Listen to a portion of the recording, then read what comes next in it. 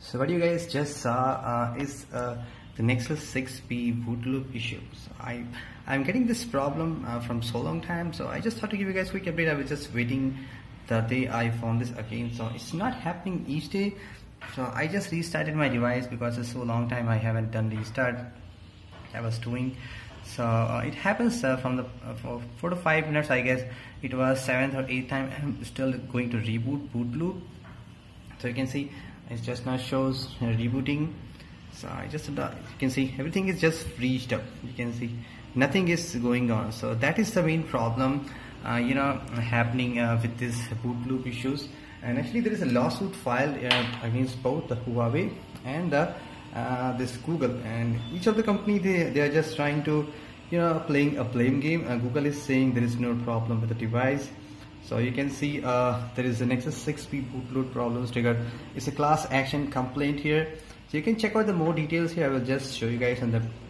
Even actually I've got many comments from people so you can see uh, can you do something about how to fix that. So since I have the 6P so I just to give you guys an update what is that problem in case you, are, you don't have Nexus 6 you can see again freezed up now that's why the main reason is that I have stopped using my Nexus 6P because I have to do uh, so many times reset because that doesn't solve the problem. You know just keep on doing. All I did just reboot nothing else. Device is working fine. So there's so many details class action filed on. Even the devices that are under warranty Google is not doing anything here. They are just you know just leaving that way and everybody just leaving that way. So this is a problem happens and I'm really not sure how I'm gonna fix it might be another reset. And uh, this is running the Android O preview. So it's not a big deal for me since I'm not using uh, as a primary phone you can see. This is what is going on.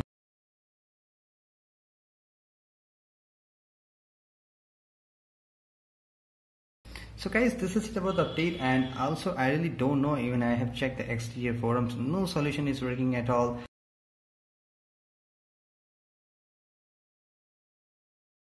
Another solution I tried guys to replace stock recovery with the TWRP and going inside the recovery and trying to uh, do a you know power off or reboot from there just in case I'm giving a try because uh, I heard some people have got this thing workaround so as you can see it is still not working. I'm just getting again a boot loop so the solution also not working.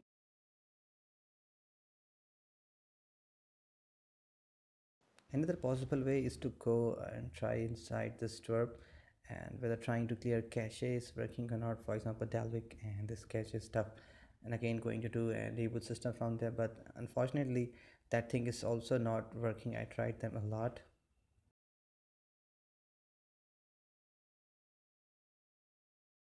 I got this problem today when I tried to remove my SIM card and putting some another network. So I went inside the boot loop. So I just thought to give an undo here. Maybe if I remove my memory uh, SIM card and try to reboot my device again. So just in case guys but that stuff uh, also doesn't work. So as you can see it's pretty much on the same condition.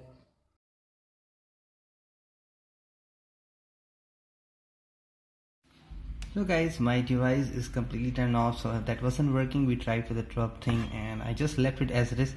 I didn't saw what happened. I just took the device after a few hours. So just going to turn that on. I'm assuming uh, this battery was completely dried off and I have the charger too just going to turn on let's see what happened to our boot loop issue whether it is booting or not.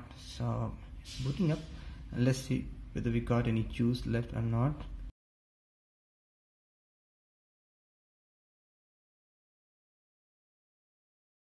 So nothing is happening. I just felt the vibration. It again reached up. And uh, I don't know guys what to do. Maybe I'll just go and reset. Anyway guys that's been it for the boot the problem for the Nexus 6P no solution as of now even the Google and Huawei don't know the solutions they are not willing to refund at all. So if you're a lucky guy your Nexus 6P is working fine then enjoy it. Otherwise uh, I know if, if I'm going to do a complete hardware factory reset it's going to boot it up. So that was the only solution. I'll give you guys a try and if that works I will make a new update video. So that's been it. Thank you for watching. I'll talk to you next video guys a quick update and I, I just uh, again the time I, I was uh, talking talking to you you can see it's restarted and the battery was completely dried out that's why I still have one percentage left so uh, that was the possible solution I guess. You have to just leave a device in that way if that turns off itself and if you can see if you can just restart it properly it's gonna work. So that's how guys this is going on for the Nexus 6 reboot loop. In case you have that problem you just uh, try in that way just leave a device as itself until the battery goes off. And after that once you got device booted up don't turn it off don't restart. You know just keep your phone topped up. So see you guys in the next video. Have a great day